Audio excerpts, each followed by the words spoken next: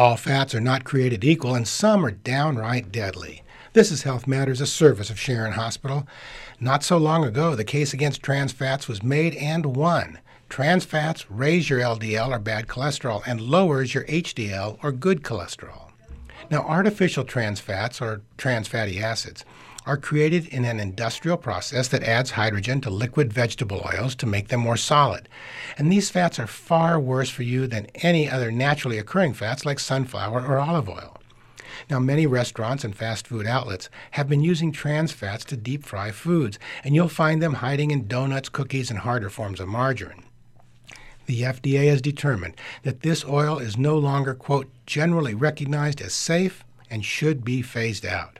Now, in the meantime, limit your intake by carefully reading labels on packaged foods, inquiring at a restaurant to see what oil is used, and substituting healthier oils wherever possible. I'm Dr. Zellman, and your health matters.